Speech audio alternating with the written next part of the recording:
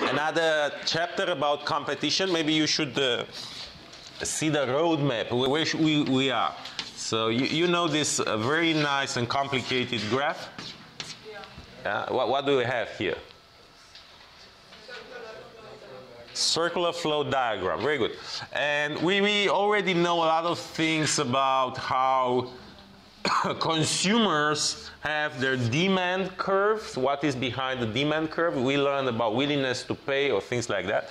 We know a lot of things about companies' decisions like cost curves and um, how they uh, decide how to allocate production factors. We learned about economies of scale, short run, long run, things like that. We know a lot of things about market equilibrium here. We even know some consequences of state intervention when the government is imposing taxes or price floors, price ceilings, things like that. What we still don't really know is the role or play by competition. Okay? It means how many companies are there, what kind of products are they selling, and how they interact with, with each other. This is very important because the interaction of companies can have different situations. You can have a market like this. Yeah, you see there are only four suppliers, and each one is quite powerful, which means every decision, for example, this company here decides to move a little bit in this direction, that company, so this is A, if A is moving a little bit like this, B will notice that, will feel it for sure. It's no way that B will not know that A is making a move. And the same will happen now if B goes in this direction. This is kind of competition. Or you can have something like that where there are a lot, a lot of small, small, small, small, small, small, small companies. And if one company is making a, a small move here, I think this one will have no idea, this one will have no idea. So most of the companies will even not know if some will exit the market or some new will enter. There, there, will be a very small change in the market conditions if this is happening. You can have the monopoly where there is only one big supplier, what will happen? What, what is uh, interesting when you have a monopoly? How is the situation for this company? Is a nice situation or sad? Nice. It's a very nice company. Okay. It's like imagine a, a, castle in the middle of the desert. Yeah, is suffering, but the people from this castle are enjoying a nice life. Now, from the history or from the know, some kind of movies, uh, what do you think that will happen? So here are the unhappy subjects, and here is the castle that is enjoying prosperity. Uh, they have welfare, they have everything. What will happen? Yes, the barbarians, you know who the barbarians are, right? The barbarians will be at the gates. They will try to get a piece of it. So then, what the monopoly must do in order to survive? Protect. Protect. What is needed to protect your barriers? Exactly. Very good. So when you have a monopoly, you need to have barriers because otherwise you will be always under siege. You know what a siege is, yeah? The, the others, they will try to conquer your position, to take your place, to take a piece of the cake because the cake is so good, delicious. Exactly, that's the keyword, delicious. It's amazing to have a pro, uh, to have a monopoly. What we are now studying is a monopolistic competition, which even uh, when we look at the name monopolistic competition, it's already, I don't know, funny. It's not right actually to have these two words together mono and competition. Can, can you have competition when we have one mono? No. When you compete with yourself. Sometimes you get second, right? if you compete with yourself. that, that's the key word here. What do you think it's called like this? Monopolistic competition. Sorry? I think one. So it, it's here, it's the monopoly? No, not exactly. It's monopoly versus barbarians? No. Then wh- what is Monopoly versus monopoly. monopoly versus monopoly? So there is another monopoly somewhere here. It's a virtual one because if it was for real, there was no monopoly. Uh, come on, Amin. you said uh, restaurant chains as well as like Ah, okay, restaurants. different from each other, but still sort of. Sort Oh, of the same thing. Okay, so it's like a mix between these two. It's coming in between because you still have a lot of players, but what will be the key difference now? You, you have a lot of companies competing with each other. So there is competition. But what is different now from that competition? This kind. The product is different. The product is different, exactly. So each company here tries to have its own small, small monopoly. Okay, so products are quite different.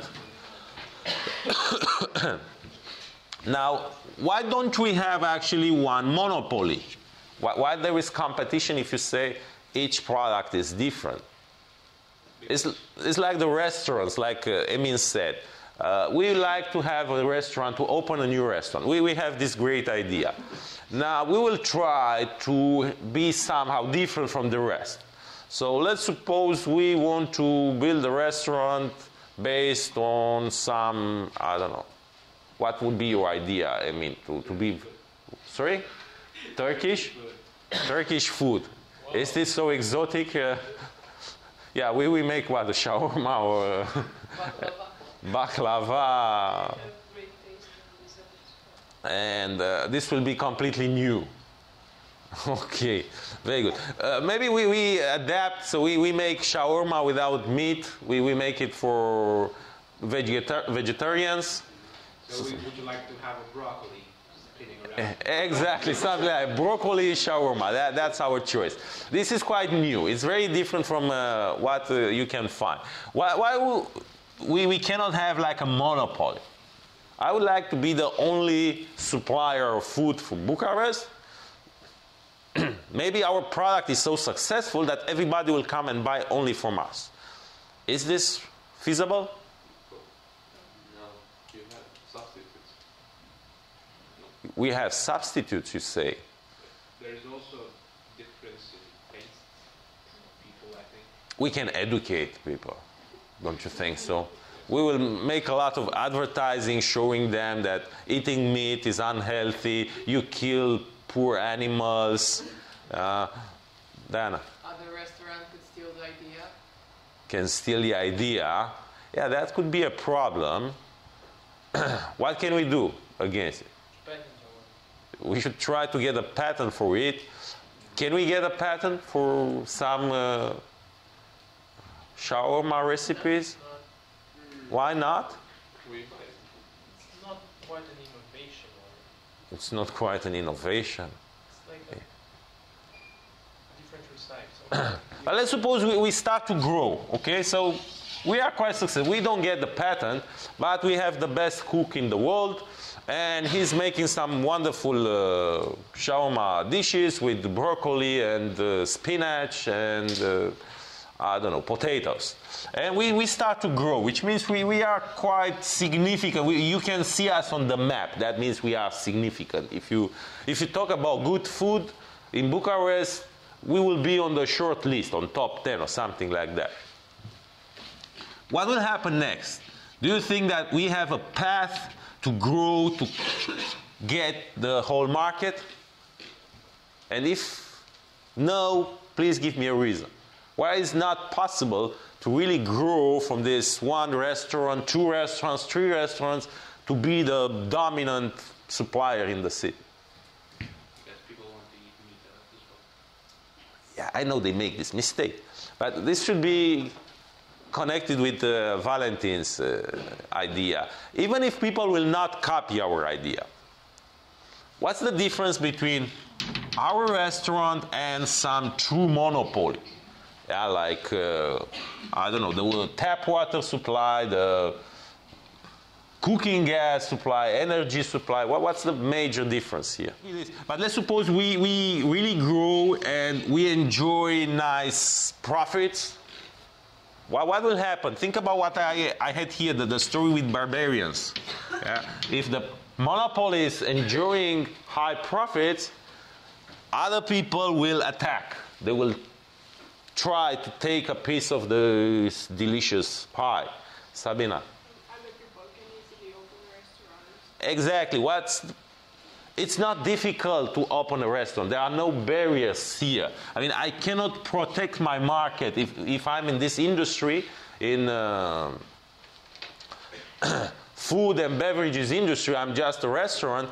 I really cannot protect it. I cannot stop other people from opening new restaurants. Why? Because it's, no, it's not so difficult to open a restaurant even if the others will not copy my idea. But there will be Italian restaurants, there will be French restaurants, there will be Lebanese restaurants, Romanian restaurants, Chinese, uh, Japanese, Korean, whatever.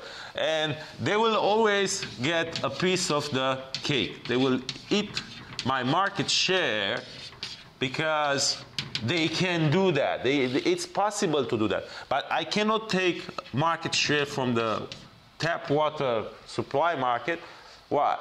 The investment is uh, huge. If you want to go into this market, you'll have to make huge investment. And moreover, I could not even get the license because this is a natural monopoly. But for other things, I maybe get the I, I could get the license, but still there is the barrier there. Yeah, they will stop me from doing this. Okay, so now you, you understand what is the monopolistic competition actually. You, you have like a monopoly somehow which means up to a certain level, you will get profits like a monopoly. You will have a nice life up to a certain point. And then the barbarians will come and will take your profits away because you cannot protect that. There is no barrier, strong barrier to stop them.